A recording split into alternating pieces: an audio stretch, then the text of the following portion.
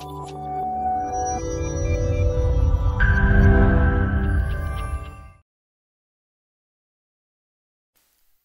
all, welcome back to Odoo 16 development tutorials. In this video, let us discuss about add new states to an existing state field in Odoo 16. State fields are used to track the changes within a record. Normally, a record has states like draft, confirmed, cancelled, deleted, etc. So let us check how can we add a new states to that existing field in Odoo 16. So let's directly deal with an example with the purchase. So just open a purchase record. Currently this purchase record of uh, status RFQ. When we move the cursor to this side, let's see its states.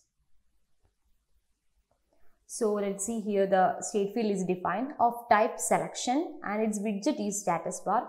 Currently for this purchase order, it has states like draft which is RFQ, sent, to approve, purchase, done and cancel.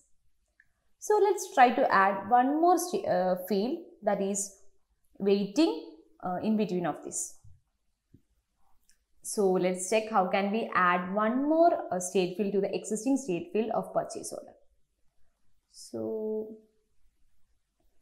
uh, in my custom module test module uh, under the models I am just creating a new python file as purchase.py and then importing let's in uh, let's uh, inherit the purchase order model.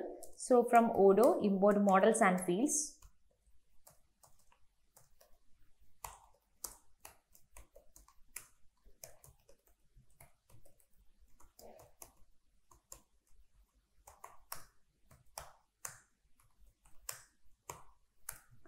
so i inherited the model purchase.order and then let's define our state field which is of type selection.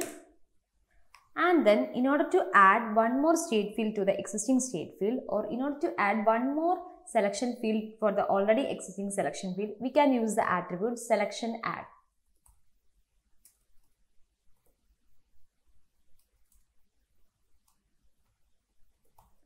so here i am just using the attribute selection add so using this attribute, we can add one more field to the selection field, already existing selection field. So here for the state, I am just trying to add one more uh, state that is wait. So just added the technical name and then the name that I need to see on the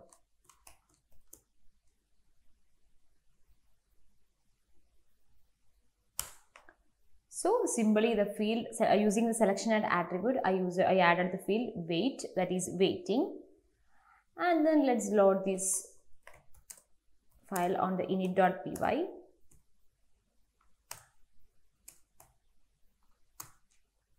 so using this attribute selection add we can add existing uh, we can add one more stage or one more fields to the existing selection field.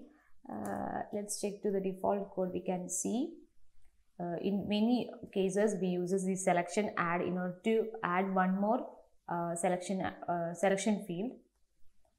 And then let's run the PyCharm go to the UI upgrade the custom module.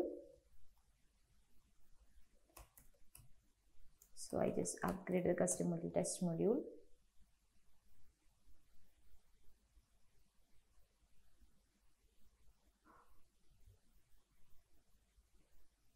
try to open a purchase order. Here we can see the field that we are, the state field that we are newly added waiting is added at here.